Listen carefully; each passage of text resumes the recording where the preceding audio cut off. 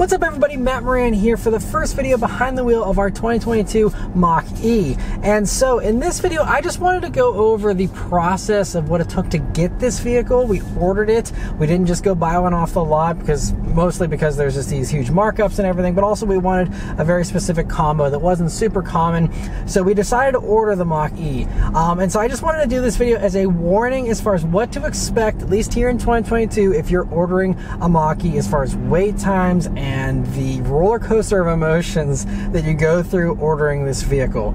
Um, it was a really a pain in the butt. It was a huge headache for, you know, it was about a 10 month process for us to get this vehicle. We ordered it on October 1st of 2021 and we took delivery on July 28th of 2022 here. It's just a, about 10 days ago we've had this vehicle now.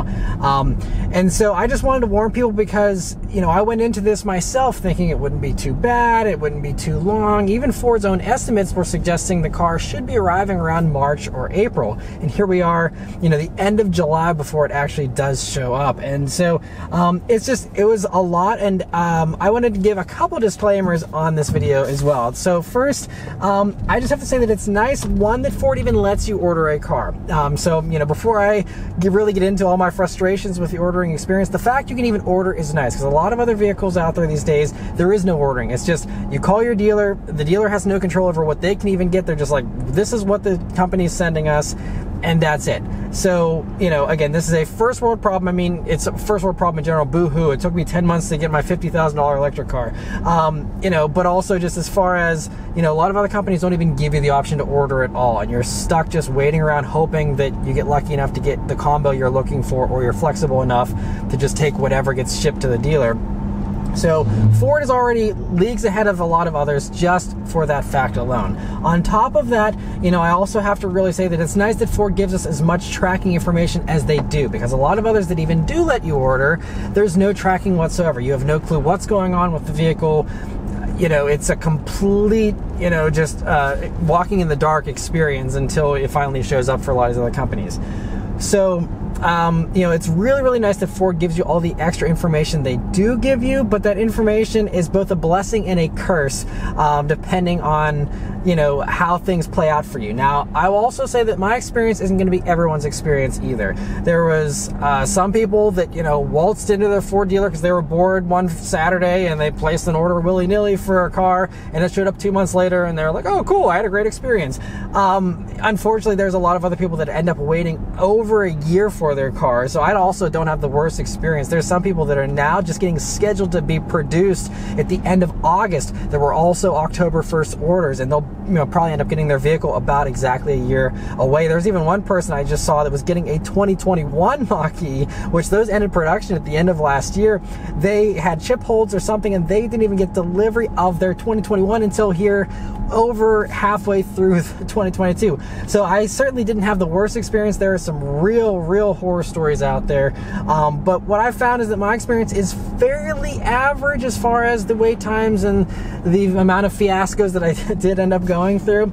Um, so not the worst, not the best, uh, you know, but it was definitely maddening the way Ford went about some of the things because of the amount of transparency, but also the lack of transparency at the same time. So I'm going to get into all that here in this video. I just wanted to give those first few disclaimers that, you know, at least Ford, you know, gives you the amount of tracking that they do. Now, as far as the order, we ordered on October 1st. That was the very first day you could place an order for a 2022 model year vehicle. That's why we waited until then. We were pretty convinced we were going to take delivery of it, and that was the plan was to get the Mach-E, but we still were keeping our options open, possibly because, you know, of these nightmares we've been hearing about with ordering and, you know, chip hold, holds and shortages and all these issues. Um, and uh, that's also playing a factor in why it took this vehicle so long to show up. There were some part shortages, which I'll get into here in a second. But, um, you know, so there's a bunch of stuff going on. Some of that stuff also wasn't Ford's fault. I'll explain some of that here later on as well. But just the fact is, you know, it took a while. But so anyway, October 1st, we ordered. Um, and probably the most agonizing part of the wait in many ways was the first six months when it was radio silence. We placed the order in October, heard nothing until April. Um, April 7th is when we finally got scheduled for production. Uh, so from October till April, nothing. No emails from Ford saying, hey, stay tuned, or anything about, like, you know, hold tight, it's going to be scheduled soon. There was no info. And to make matters worse, uh, the Mach-E forums, I was on these forums a lot lot, um, just reading everyone else's experiences and just kind of gauging a barometer of, you know, is my experience that's happening currently is this normal? Is this fair? Is this you know um, you know logical?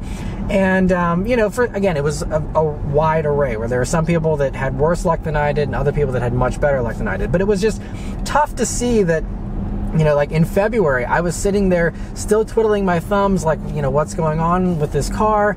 And yet there was other people that are like, oh yeah, I placed an order in January and I just got scheduled here in the middle of February. And it, that kind of stuff just really is maddening and doesn't provide a feel good experience.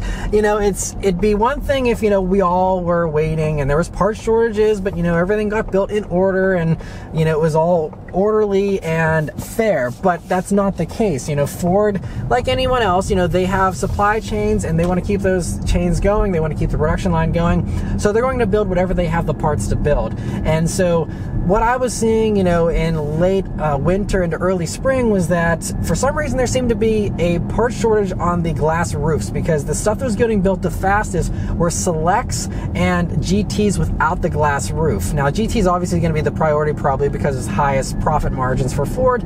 I can understand that, sure. And so, you know, there's a lot of people though that ordered the base selects, which I would assume is probably the least amount of uh, profit for Ford, and those were getting built super fast. On top of the fact that there was tons of selects already sitting on dealer lots. If you look on Auto Trade or anywhere else and look and see what dealer stock is available for Mach-E's, generally it's going to just be a ton of selects that nobody wants because everyone wants the premium. That's the one that's ordered the most, and that's part of why it took this car so long to arrive. Is because we ordered the premium and we got the all-wheel drive, uh, but we did get the smaller battery, which I thought would kind of help me at least a little bit with the order.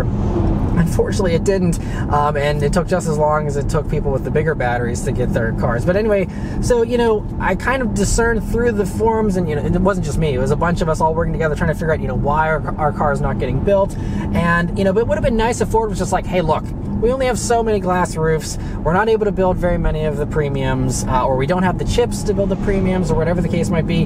If there was some kind of transparency or some kind of explanation as far as why we were waiting, instead of just blind faith that Ford was hopefully working in our favor to get us our car as fast as possible, um, you know, it just would have been nice to have some type of you know, thing instead of radio silence for six months. I mean, that's, you know, especially for me, it was a little more anxiety inducing because our whole situation was Beth's lease was up on her Mercedes uh, at the end of April. And we were able to extend it out a max of two months or potentially, you know, buy it out. Turned out the buyout thing didn't work out in our favor because used car prices, even for her Mercedes, um, in this crazy hot market, the Mercedes just did not hold its value and was basically worth the buyout price, but no more. And after sales tax and everything, I would have been upside down. So I didn't buy out the Mercedes that wasn't going to be part of the plan. So it was like, all right, well, we'll extend it out two months if we need to, but then, you know, we had a hard deadline of like by the end of June, she will be out of a car.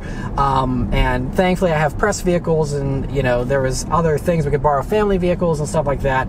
But it still would have just been, you know, kind of a headache to not have a car after the end of June. So you know, not hearing anything for six months, I'm starting a little nervous by the middle of February, and I actually start considering like, should I just buy one off the lot? Because I'm reading everyone else's horror stories, people saying that they've already been waiting a year for their car and all this stuff, and I was like, you know, maybe I should just go ahead and order one, I, or you know, buy one off the lot and you know, give up on this order. Um, the only thing is, you know, most of the ones on the lots, very few dealers are offering them at MSRP, and it would be a long road trip and stuff. And so I wasn't opposed to the road trip, but I just was like, you know what? You know, Ford originally said it should be here sometime, you know, around March or April. My dealer said that that should be my expected window as well. Everyone seemed to, you know, think like, you know, just keep the faith. It's going to, you know, hopefully be here in time. And I thought, okay, I have potentially till the end of June anyway. I have some time. I'll just roll the dice and hope for the best. And so stuck with the order. And again, from, and that was late winter, I was really contemplating seriously just buying because I found a couple within about 500 miles that were, you know, the same spec that what we wanted here. Um, but I was also, you know, looking forward to getting a 2022 because we wanted to get the second model year to hopefully have a few less bugs. And also, you know, once I knew that we weren't going to get built super early, I was like, okay, well, now if I play my cards right, I could maybe get a job two 2022, which is like a 2022 and a half, you know, as far as, you know, the parts and all that stuff goes. And so I was hoping that, you know, okay, well, that would have even less bugs and it would be all good. So anyway, stuck with the order, and finally, again, no warning, no heads up or anything, just on April 7th, it was like, we scheduled your Mach-E. It's going to be built the week of May 9th. I'm like, sweet. All right, well, sounds good. I've heard typically six to eight weeks for from production to delivery to the dealer. So I'm like, all right, well, if it gets built very beginning of May, we could, you know, make it just in time here for the end of June and everything will be okay. But before we go further, I also have to mention one other shortcoming from Ford's end is that um, they basically did finally come out and say, look, we have a shortage of chips. We're going to be cutting back. And so the 2022s, at least from job two, uh, the ones built after, you know, May, um, they were going to not have the kick to open tailgate feature, which this car does not have. And also they wouldn't have um, the auto park thing. So it'll do the automatic parallel parking. That was getting pulled as well. Um, and you could add those things on later. But in the meantime, they're going to give you a $325 discount for not having um, the auto park feature. But the dealer had to go in and manually hit accept and change that um, that package and add on an active park assist prep kit um, to then make your order eligible to be scheduled. Um, and a lot of dealers didn't even know this. There, it wasn't communicated to them clearly enough. Um, and so there's a lot of other people. Thankfully, I was on my dealer to make sure, and I was on the forum, so I knew all this stuff. But if you were a casual person that you know wasn't OCD about this stuff like I was, you would have completely missed out on it. There was several people that like had their orders just sitting on the wait pile for you know a month or two because they had no clue, and then they like come on the forums and they're like, oh wait, like my dealer's saying I you know we, they just are figuring this stuff out, and then it's like they needlessly waited for months um, when they should have had their cars scheduled because there was just a lack of communication there. But that's one of the areas where that Mach-E forum was so valuable, and that was one of the real big perk of the Mach-E to me in particular was the fact that there's a really strong community for them and uh, there's just uh, so much interactivity on the forum and so much great information and so many forum members that are so happy to help and uh, just they go above and beyond the call of duty to help out, you know, uh, Mo- uh, fellow Mach-E owners and, you know, keep everyone informed and in the loop. And so that community really is an awesome thing, which I think is kind of blended over from the regular Mustang community, but also just, I don't know, there's just a lot of passion around the Mach-E. And so thankfully there's a really good community that was able to keep me and everyone else in the loop about all this stuff. Otherwise I would have been in the dark about it as well. Um, so anyway, getting back to the timeline here. So the car gets scheduled for May 9th production. May 9th, uh, or maybe a week or so before, it gets pushed back. Now it's May 16th. And then it gets pushed back the next week to May 23rd. So I'm like, okay, great. Well, now it's almost certainly not going to show up in time, and Beth will be without a car for some period of time. Um, and so that was really frustrating every one of those weeks. I'm like, okay, it's gonna get built this week. And they're like, nope, another week, nope, another week. And like keep pushing it back. And again, no explanation whatsoever. If they were like, hey, there's an issue, here's why we can't build your car, we're really sorry, we'll get to it as fast as we possibly can. Like I would have been so much more patient if I would have had a little bit of information about why there was delays instead of either finding them out after the fact, after I had already banged my head against the wall, or you know just just something to kind of help out. And that's why you know, the overarching theme of this is do not order one of these unless you have an extreme amount of patience, um, or you just are really laid back. You don't care about when it shows up, and there's no time constraints for you whatsoever. Otherwise, go hunt one down on a lot, save yourself a headache, and that's you know you'll just you'll be happy you didn't wait around for 10 months or more or less. You know, it's just it's a little bit of a stressful thing still. But anyway, so May 23rd, the week of May 23rd comes around. Um, the car uh, starts. There's a few people in that build group, so I was in a later batch of that week's build group. So there's batches in each build group, and there's like four or five batches for each week.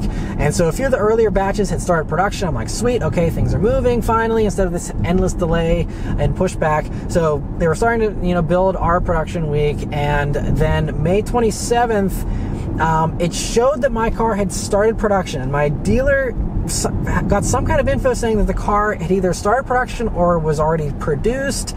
Uh, but then later he said that it was on the trim line. Um, so they don't have great information either. And this is why all of my complaints with this whole ordering process, nothing is the dealer's fault. The dealer was great to work with. They were just as out of the loop as I was, unfortunately. They didn't get any extra info really beyond what I was able to access through the Ford chat support uh, stuff and just my own uh, detective work. So, you know, it just, it was unfortunate the dealer couldn't help me more, but none of this is the dealer's fault because, again, Ford doesn't really help them out much either. So, it is what it is. But anyway, So May 27th, it seems like the car has started production. I'm like, okay, cool. And I got an email from Ford saying your car is in production, hooray! And that's all great and you know, all exciting. And I'm like, all right, things are moving. We're gonna have some progress here, and you know, there's a light at the end of the tunnel. And so um, that's great. And then another surprise that I didn't want to have is, um, you know, they say it takes maybe like three to four days tops to come you know, from start to end of production.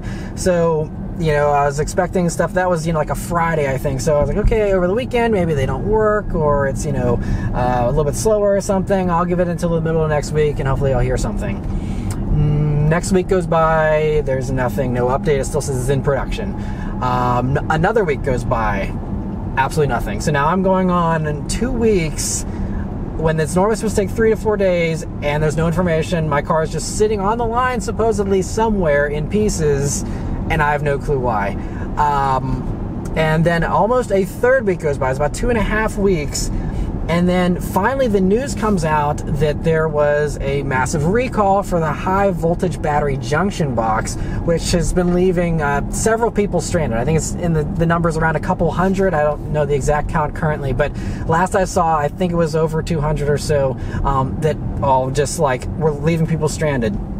And so the theory, and again, Ford has never told us why the production line was actually halted for three weeks. Like, not only was my car not getting built, everyone else in my batch wasn't getting built, and the following production weeks, the five, the May 30th production week, the lack, there was an actual supposed to be a, a first week of uh, June uh, production week that just ended up vanishing, and those people all got pushed to like a, a June 13th build week, and then there's, uh, it just kept getting pushed back and back. So all, none of these people were getting built. So the line was idled for multiple weeks, and we're all trying to figure out what's going on. And then the news comes out of this recall, and we're like, okay, well that makes sense. Again, but no one ever told us this. We just figured it out because the May they said the recall is for vehicles that were built before I think May 24th. So it's like, okay, so everyone in our build week you know, it was like split. The early ones that kind of, you know, got built the beginning of that week and got shipped out right away, those ones actually did end up falling under the recall. But thankfully, mine started after that date and didn't actually complete until after that date. And I'll get into that in a second. Um, because of that, it was, uh, you know, my car dodged that. But thankfully, you know, Ford said that it's just a software update, at least for the cars that are already out there. They're just, uh, they know that this part is essentially under engineered, especially for GTs that can't handle the higher uh, thermal load of that junction box. It just it just uh, welds itself open or shut and then causes the car to go into limp mode or just causes it to not be able to start at all and just be bricked essentially. So, um, you know, it's, it's a very serious issue and I'm glad that they took the steps to recall it and stuff. It would have been nice if they actually just did a recall and replaced everyone's parts instead of just being like, hey, like, they basically just put out software that limits the car and puts it into an extended limp mode once it detects that your junction box is starting to fail so that it prevents it from fully failing so you don't get stranded anymore, which is a huge improvement still. I will give Ford credit for that. Um, at least you're not getting stranded anymore, but it does mean you're in limp mode until you take it to the dealer, but at least you can drive to the dealer under your own power.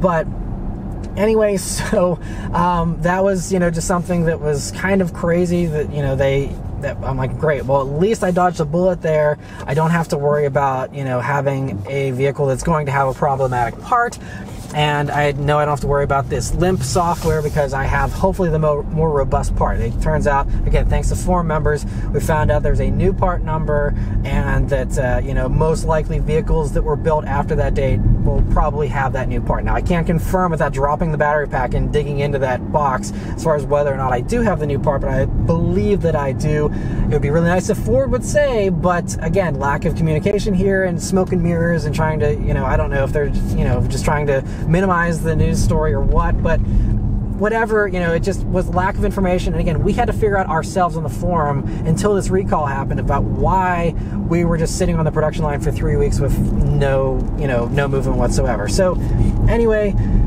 the final uh, thing was that because of that delay here, my car didn't actually markets it, then the Ford Tracker, which you can use the track and it'll tell you updates, very limited updates, but every once in a while when there's something big that happens, it'll tell you an update.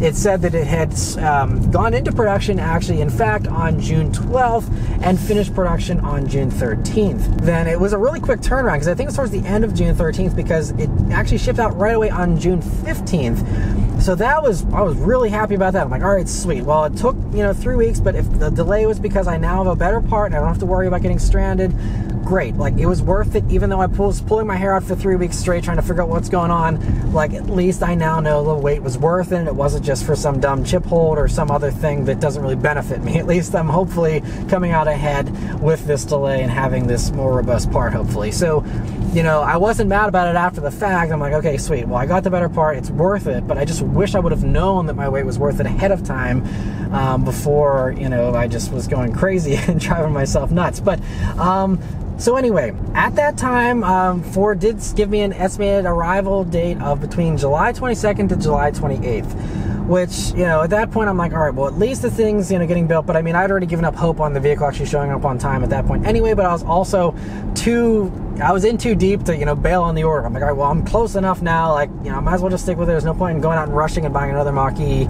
You know, I'll just, we'll deal with not having a car, you know, for however many weeks. And hopefully, you know, still again, hope for the best, hope everything would go smoothly. Um, I should have known it wouldn't have gone smoothly, but it just, you know, I was hoping for the best. So anyway, um, you know, that was the window is 722 to 728. So, um, ships out on the on uh, June uh, 15th, and then um, I'm able to track it thankfully by train. Um, so one of the really great things is with the Ford uh, chat support uh, thing, they actually, if you ask the right questions, you get a lot of information out of them. Uh, it's still a little delayed, so it's not amazing, but it's still again a whole lot better than nothing. So they're able to actually give me the rail car number, so you're able to go and then go on the automated uh, phone system for that rail car company and track that rail car, which is really nice. You can do that, so it'll give you an update at every uh, location or every stop that it stops at there. And so I was able to track it and see that it actually got to uh, Kansas City in about 12 days from Mexico, which I thought was actually pretty good. I was pretty happy with that. The train was moving pretty fast, and I'm like, sweet. And I was actually seeing on the forums as well. There's a lot of people getting their cars two to three two to three weeks before um, their actual estimated delivery window there. So I'm like, oh, cool. Well, maybe we won't actually be without a car for very long. You know, maybe a week or so tops, and it'll be great. So June 27th, it gets to Kansas City, and I'm hoping, you know, it's supposed to take another train to go to, uh, you know, the rest of the way, all the way to Ohio to my dealer. Um, and so you know, there have been some people that have been saying it takes about a week or so for it to transfer trains, and I'm like, well, hopefully it's quicker. Some people it did happen quicker, but for me, unfortunately, it was radio silence for 10 days. Um, and meanwhile, you know, we turned in Beth's car on June 30th, so every day that was passing by was another day where she didn't have a car. Now, thankfully, I review cars for a living. I have press vehicles that are loaned to me most every week. We were able to have a car most weeks, but there was one week where we actually did have to borrow a car from a family member because I didn't have a press car scheduled that week. So it was starting to get more stressful with this wait, especially considering at this point I knew that there was no good reason. The car was just sitting around in a lot in Kansas City for 10 days. Now I know that there's logistics to be considered and you know they're not going to ship cars on empty rail cars. You know, they need to make sure there's enough cars that are there to, you know, put into the rail car. They're not going to send a truck that's half empty in order to, you know, send it over to the rail yard either. So, you know, there's things that I understand there's some good reasons for some of these delays. It's just unfortunate that my luck was such that, you know, I wasn't, you know, able to hop on a truck at the last minute and hop onto the train at the last minute. I still had to sit around in the lots for, you know, a bunch of time before I was actually able to move to the next step. But anyway, 10 days later, it gets on another train. So I believe I got that info on July on July 8th that it was uh, loaded onto the next train and was on its way to Ohio. And it got there pretty quickly for a train. I think it would actually landed it in the uh, drop-off point in Ohio for my dealer and all the surrounding dealers in that area at Avon Lake, Ohio on July 12th. And so I'm like, all right, sweet. Well, it's now 80 miles away from the dealer. You know, it's yeah, you know, we're uh, you know, a couple weeks before the ETA, but I was like, you know, we're hopefully going to, you know, have the vehicle show up early, and this is great. Nice little acceleration here. Um, this thing is really nice to drive, by the way. You know, that's I'll get to that towards the end, but you know, it is really enjoyable, and I'm glad we stuck with the order. But anyway, um, so you know, the 12th of July is when it shows up in Avon Lake, Ohio and then more radio silence and more of no explanations as far as what's going on. So it sits there, it sits there, um, and I'm like starting to wonder. I'm hearing stuff about you know trucker shortages, and I'm like, man, like I really hope this car doesn't get stuck here. In the meantime, um, you know, and this is also it wasn't again a problem unique to me. My dealer said there is other people that were waiting on other vehicles, even like F-150s. Um, there's one guy that apparently had ordered an F-150 and planned his entire vacation around being able to tow with his F-150, and he was potentially having to walk away from his order because his car was sitting also 80 miles away from the dealer, um, and it was just stuck there and hadn't been moving for weeks. Um, and the crazy thing is, the dealer, at least my dealer, had the uh, option to request a uh, delivery driver, like a dealer trade driver, to go pick it up from the lot and drive it to the dealer if they can't figure out how to get a truck to drive it to us. Um, and so the dealer actually submitted requests for three prior vehicles that were waiting there even longer than I was. Um, and all three of those requests got denied for some reason. I don't know if it's because the cars were already loaded onto a trailer and they didn't want to offload them because it seemed like cars um, had been uh, being put on trailers, but we're just waiting. Because I did get an update on uh, the 19th, so a week after, essentially saying the car had finally gotten off of the train and had been um, received by the carrier, um, meaning that it was hopefully, you know, either sitting on a ramp somewhere or that it was actually you know, loaded onto a trailer. And this is another example where um, the Mach-E form is really awesome because I have to give a shout out to Renton777 who actually lived near Avon Lake and um, was nice enough. He also was waiting for his vehicle that um, was a few weeks behind mine, but he was also curious as well. But he actually went to the lot where these vehicles are kept. Um, you know, obviously he wasn't able to get in, but he, you know, looking through the fence there, he was actually able to snap a picture. And there was a Mach-E, it was a grabber blue one, wasn't mine, but there was a Mach-E on a trailer. All the pieces seemed to be there for the most part, aside from the driver. Um, I know there's driver shortages and you know the gas prices and stuff. There's good reasons for you know some of that I'm sure as well. But it just would have been nice to have some communication of hey, we're not going to be able to get a driver for another week and a half just letting you know, or hey, you know, we're struggling to get drivers. We're gonna even just say we'll work on it. We're trying to get it, you know, soon. But again, there was just radio silence instead, and me having to, you know, sit here and you know try and look into a crystal ball to figure out what's going on with my car. And then I was stressed out because like there was a hailstorm that went through there, so I'm like, great, my car's sitting on some open trailer probably getting hailed on and everything else. Thankfully, the car seems to be unscathed and totally fine. But you know, it's just it's just all these agonizing things while you're waiting for this stuff, especially again because we're without a car and you know we've been waiting almost 10 months already. Our patience is already very thin at this point, you know, and it's just also again other people were getting their cars delivered without these long waits. Again, if everyone had to wait, you know, a standard three weeks in a parking lot until their driver came and picked up their car in a truck, fine. But it just that wasn't consistent. So I'm sitting on the forums while other people in my build week that are getting their cars delivered to Northern California, to Seattle, to Florida, every corner of the United States was getting these cars delivered, no problem whatsoever. But yet my car can't make it from Kansas City to Ohio in less time. I mean, it got to Ohio, but by the time I took delivery of it, it took longer for, to go from Kansas City to my doorstep than it took to go from Mexico uh, all the way to Kansas City. It's just, it's crazy that it just, you know, struggled so much in those last few weeks that really dropped the ball when it could have actually been ahead of schedule, could have really, you know, been worked out a lot better, you know, but Instead, um, you know, again, it's radio silence again, and then I'm entering my build week. And so the build week, you know, July 22nd to the 28th is when the ETA of, you know, expected week of delivery. And so you know, 22nd goes by, all these days go by, radio silence again. Dealer doesn't know anything again, of course, because they're also kept out of the loop. And then the final day of my ETA, July 28th, um, the morning of, I log into my Ford account uh, to see the tracker, like I do every single day, multiple times a day, to you know see what, if there's any kind of status updates. Um, on the morning of the 28th, it said, Your vehicle is now pushed back. It'll be delivered sometime between July 31st and August 6th. I'm like, great. Well, now we're going to have more and more delays while this car I know is sitting 80 miles away from my dealer for no good reason, in my opinion at least. And it's just maddening because I'm like, I wish I could go pick up the car. I would have gone and picked up the car back in Kansas City back at the end of June if I, you know, could have had the ability to. I would have gladly road tripped, you know, a few hundred miles to have my car a month sooner. Um, and so, anyway, uh, you know, it's just, I'm like, great. So the morning of the 28th, I'm like, well, we're going to be waiting at least another week here. And who knows, it could be just forever. Because there's some people that were waiting multiple months, you know, for in our same exact situation. So, uh, wasn't happy about that.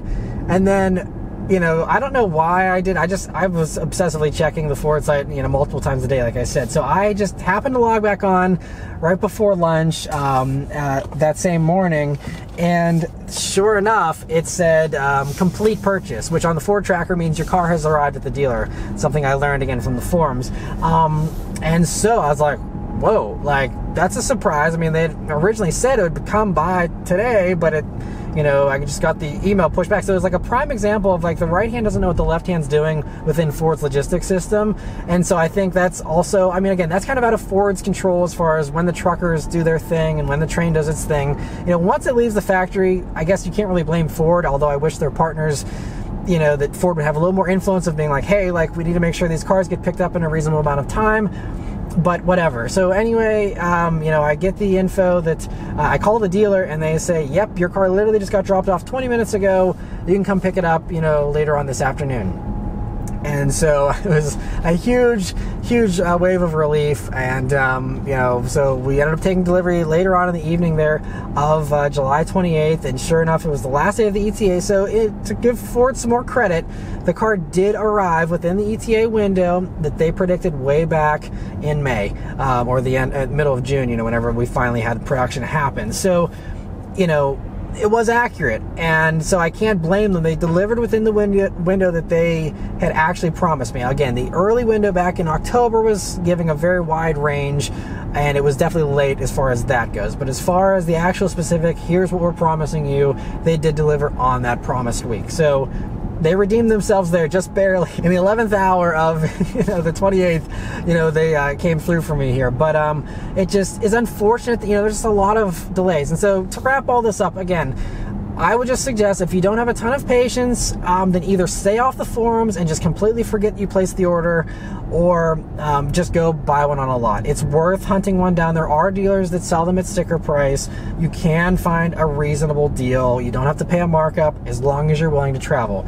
You know, a lot of people just want to have a super good deal, you know, five minutes away from their house, and that's not the case these days. You know, you're going to have to travel if you want a good deal for most people and that's just the reality of the situation we're in. But if you're willing to put in the extra legwork of hunting down the car yourself, doing a road trip, you know, doing the legwork, making sure you're getting all the right deals and incentives and all that kind of stuff, you can come out with this, you know, for a good deal. I didn't pay a penny over sticker. The dealer I worked with, Sarchione Ford um, in Alliance, Ohio, they were fantastic to work with. Very simple, straightforward. We actually had everything finalized before the car showed up because I was so antsy. So walked in, you know, signed a few papers, and 10 minutes later, I was done. And you know, so it was very great and they were so nice and patient with my pestering and with you know everything. They're so friendly and everything went so smoothly. And the fact they held up to the deal because there's a lot of other horror stories of you know people waited all the time and went through all the stress like I did, and then they got to the dealer and the dealer's like, well, if you don't pick up this car in 24 hours, we're selling it to someone else. Or they just didn't tell people who maybe were either weren't able to get it right away or just still were able to actually get it right away, but then they still had the car sold, um, you know, that same day that it arrived to somebody else and sold it out from underneath of them, or you know, people showed up, um, like my buddy Pipsport Views with his uh, Bronco, where the dealer he waited a bunch of time for his Bronco to show up. The Bronco showed up, and a week before it showed up, the dealer was like, "Hey, by the way, you got to pay an extra ten grand over sticker." Um, thankfully, you know, my dealer didn't play any of those games, but you know that's not a guarantee with other Ford dealers. So that's another reason why, you know, you will definitely want to make sure you you know check out your Ford dealer ahead of time. Make sure that they are totally legit. You know, do some research online. Make sure that people haven't been burned by them in the past. But you know, it just it's another reason why. You know, if you just go in and just buy one off the lot you save yourself a lot of headache and a lot of nail biting. Um, if you're not an anxious person like me, then you know it'd probably be fine. And again, some people had good luck. They waltzed in, you know, in February, ordered a GT, and walked out in April with it, and it was no drama. So you know, it's it's all comes down to your personal luck, what exactly you order, and all that. So you know, again, I don't want to say this was a terrible experience all around. You know, I understand the realities of the situation we're in currently with chip shortages and everything else that's going on with gas prices and all that that fed into this. But again, just at the end of the day, I wish Ford would have given us the reasons behind these delays as they were happening, not after the fact or never in most cases. You know, I wish we just had more transparency in that way. In my opinion, and I'm glad that I now have a car with a more robust part most likely if it wasn't for that recall and you know the fact that I'm probably I have the better you know car in a way if it wasn't for that I would have 100% regret ordering this car. And I would have really really regretted not just going and buying one back in February whenever I was seriously considering it um, and you know hopefully the part is you know the better part but if you didn't get a better part you know, I would say 100% I regret ever ordering this car. It was way more of a headache than it was worth. I would much rather have just gone, had immediate satisfaction and gratification of buying off a lot immediately, having no stress, no nail biting, and uh, you know, save myself a whole lot of time on the computer doing all this research and stuff, and you know, stalking every uh, little movement of the car. Which again was my own fault for being so, you know, uh, crazy about it. But it's just you know, whenever you're you're it's your purchase, you have a time crunch. You know, you you want to know what's going on. You you know don't want to just be in the dark. So you know but anyway so like the title suggests you know it was super stressful for me i didn't enjoy the order experience it wasn't fun would re- not recommend uh, or ordering one of these right now until they get a lot of this stuff you know fixed or they improve their communication to at least keep people updated on what's going on and why you know what's happening is happening um, so that's it. Uh, so hopefully that's the constructive, you know, for uh, those of you who are considering, you know, uh, purchasing one of these. Just keep that in mind. It's your experience may vary, but uh, chances are it's not going to be great. And this isn't just a Mach-E thing either. Bronco orders have had a whole bunch of headaches, which have been covered a lot in the media and stuff. Mavericks have had a lot of waits. This is a, something that's happening a lot, um, and it's again not just Ford either, but it's just very stressful to order a car right now in general. Uh, but I think that Ford could have made it a whole lot better if they would have communicated, and um, and also they would have just built stuff in order. It doesn't make you feel good to you know know that there's people that waltzed in, cut the line, or even if it was because of you know the way the production line set up or the way that you know what they ordered. It should just still, to me, it's only fair if they build stuff as it's ordered. I know that probably doesn't make sense for logistically these days, but it just again it just makes you feel terrible whenever you go on the forums and everyone's getting their cars before you are. You know, especially after you've you waited longer than they have. You know, it just doesn't seem fair, and so that's just something that again, you know, stay off the forums if you're not okay with that kind of stuff because it's going to drive you crazy otherwise. But anyway. Um, again, I just want to give a huge thanks to the Mach-E forum though for you know providing so much information and so much more information than I would have had otherwise. Um, and the great community there that you know kept everyone in the loop, and we all had each other to kind of bond over our you know misery and you know, commiserate in our uh, stresses and uh, wait times and stuff. It really made it you know a little bit more bearable for sure. And a lot of people do say you know it was well worth the wait for them. The second they took delivery and did their first acceleration in their Mach-E, you know all that stress melted away. For me, I don't forget so easily. Uh, you know it I'm going to remember the headache it was to get this vehicle, but you know, at least I'm very happy with it so far. It's been you know um, good here for the first 200 or so miles at least, and uh, you know we are enjoying it a lot. But I think I would enjoy one just as much if I would have bought it off the lot and saved myself an extra you know six months of waiting or whatever the case was. So um, just got to put that out there. But you know, I still think the Mach-E is a great product and well worth trying to get one. Uh, I just think you can do it without some of the stress here by just hunting one down. Anyway, that's all of my thoughts here on the order for the Mach-E. Let me know your thoughts on this whole fiasco in the comments below. Thank you all very much for watching. I'll see you on the next one. Take care.